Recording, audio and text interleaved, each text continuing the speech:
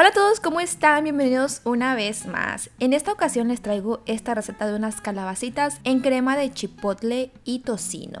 Están súper ricas, así que espero que les guste. Para esto yo voy a estar utilizando 5 calabacines o zucchinis, como quiera que los conozcas, una taza de crema, un cuarto de cebolla. Si quieres que pique, agrégale dos o más chiles chipotle, dos tomates o jitomates, un cuadrito de caldo de pollo, un ajo, Tocino son aproximadamente 8 tiras. Yo suelo agregarle mucho más para que sepa más rico, pero si quieres puedes omitirlas o usar menos. Una taza de leche, adobo de chipotle y media taza de cebolla en cuadritos. Ok, vamos a comenzar agregando la crema a nuestra licuadora. Ahora agregamos media lata de adobo de chipotles, la taza de leche,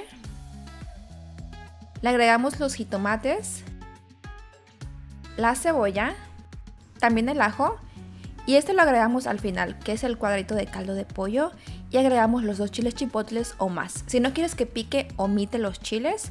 Los licuamos muy bien y listo, ahí tenemos nuestra crema. Por otro lado, vamos a comenzar a cortar en pedacitos más pequeños el tocino.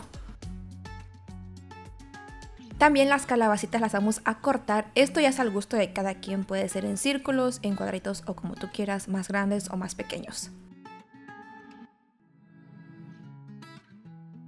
Por otro lado, en un sartén previamente caliente a fuego medio, vamos a agregar el tocino. No le agregues aceite, en unos segundos el tocino va a comenzar a sacar toda esa grasita y con esa misma se va a estar friendo y le va a dar un sabor súper rico.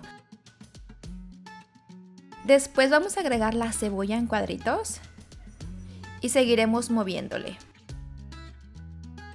Ya que pasaron unos minutos y la cebolla ya se ve más doradita, vamos a agregar poco a poco las calabazas.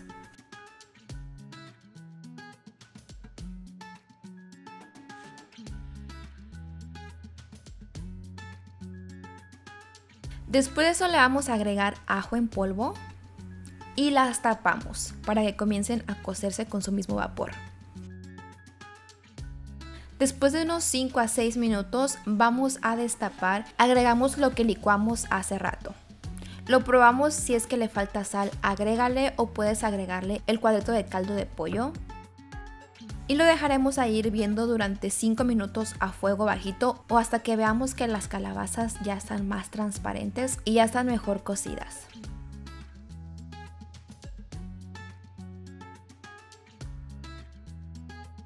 Y listo, así fue como quedaron. La verdad que están súper, súper ricas. Espero que a ustedes también les gusten tanto como a mí. Yo las acompaño con arroz, a veces las acompaño sin nada.